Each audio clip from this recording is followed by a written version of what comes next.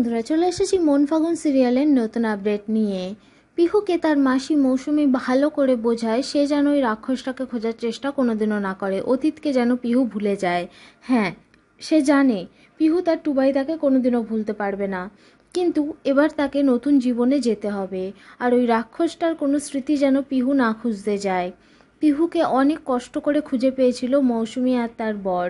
তাই পিহুকে তারা বৃষ্টি বাড়িতে নিয়ে চলে এসেছিল চন্দননগর থেকে, যাতে ওই রাক্ষসটা কোনোভাবেই পিহু অবধি না পৌঁছাতে পারে। যে রাক্ষসটা মানুষ খুন করতে পারে সেই রাক্ষসটার ওপর মৌসুমীর এতটুকু বিশ্বাস ছিল না। পিহুর বাবার প্রচুর অর্থ সম্পত্তি, কিন্তু তারা সেগুলো ঘাটতে যায়নি, খুঁজতে যায়নি। কারণ ওই রাক্ষসটা যদি কোনোভাবে পিহুর খোঁজ পেয়ে যেত, তখন কি হতো? তাই তো পিহুর পরিচয় তারা বৃষ্টিবাড়িতে এসেও গোপন করে রেখেছে। পিহুকে বারবার করে বলে তার মাসিমণি, যেন পিহু কথা দেয়, পিহু তার আসল পরিচয় কোনো দিনও কাউকে না বলে, কখনো না। পিহুর মনটা প্রচণ্ড খারাপ।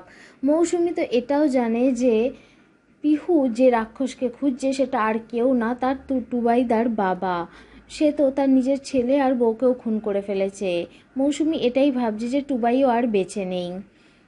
ওদিকে পিহুর মন ভালো করার জন্য বৃষ্টি বাড়ি থেকে পিহুর একটা স্মৃতি বক্স নিয়ে আসে তার বোন অনুষ্কা, যেটা দেখে পিহুর মন খুশিতে ভরে যায়। এরপর পিহুকে একা ছেড়ে বেরিয়ে যায় মৌসুমি আর অনুষ্কা। পিহু সেই বক্স থেকে টুবাইদার ফটো বার করে তার সাথে কথা বলে। আর বলে, তুমি তো খুব সুন্দর দেখতে ছিলে টুবাইদা। বর্ষে যে তোমাকে কেমন দেখতে লাগতো। ওদিকে, রেডি হয় ঋষি বরের বেশে, কিন্তু এসব ধুতি পাঞ্জাবি কেন পরানো হচ্ছে তাকে? তখন তার ভাই এবং কাকারা বলে, যে এটাই তো নিয়ম, যে ধুতি পাঞ্জাবি পরেই বিয়েতে বসতে হয়, শার্ট প্যান্ট, কোট প্যান্ট পরে বসবে নাকি? এটা কখনো সম্ভব নাকি? ঋষি বর বেশে একদম তৈরি।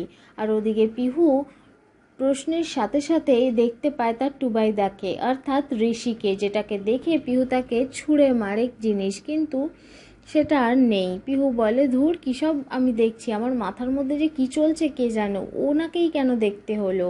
বলে তার টুবাইদাকে চিঠি লেখে, কিন্তু এবারে টুবাইদার নাম নিয়ে নয়, প্রিয়তমা হিসেবে, যেটাকে যে কেউ ভুল ভেবে নেবে, যে কেউ ভাবে পিহুর হয়তো প্রেমের সম্বন্ধ আছে কারোর সাথে।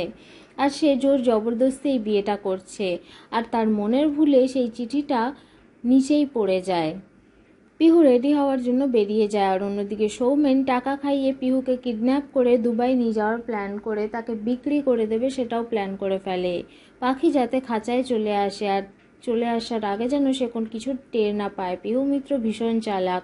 তাই এবাড়ির থেকে যে গাড়িটা যাবে সেম মডেল সেম কালার আর সেম ড্রাইভারের পোশাক যেন থাকে, যাতে পিহু মিত্র একদম সন্দেহই না করতে পারে। আর তারা তো রেডি আছে কাজের জন্য, টাকা পয়সা সব ক্লিয়ার অন্যদিকে, অনুষ্কা বরের আংটি আর পোশাক নিতে এসে পিহুর চিঠিটাও তার সাথে নিয়ে চলে যায়, যেটা সে বুঝতেও পারে না। পিহু পার্লারে রেডি হয়ে গেলে, ঋষির বোনেরা বলে, বাড়ির গাড়ি রেডি আছে, তুমি বেরিয়ে যাও, আমরা এগোচ্ছি। পিহু রেডি হওয়ার পরে নিজেকে দেখে আর ভাবতে থাকে, ছোটবেলায় টুবাই দেখে কথা দিয়েছিল যে, প্রিয়সী ওয়েডস ঋষিরাজ, আর আজকে দেখো তার ভাগ্য তাকে কার সাথে জুড়ছে? সে তো জানেই না যে সে তার টুবাইদার সাথেই জুড়ছে বিয়ের বন্ধনে। পরবর্তী পর্বে আমরা দেখব সৌমেনের প্ল্যান মতো পিহু বসে যাবে সেই গাড়িতেই। কিন্তু এদিকে কি? ঋষি চিঠি পড়ে ভুল বুঝবে পিহুকে, নাকি সে বাঁচাবে সৌমেনের হাত থেকে পিহুকে? দেখতে থাকুন পরবর্তী আপডেটের জন্য আমার চ্যানেলকে লাইক কমেন্ট শেয়ার এবং সাবস্ক্রাইব করুন।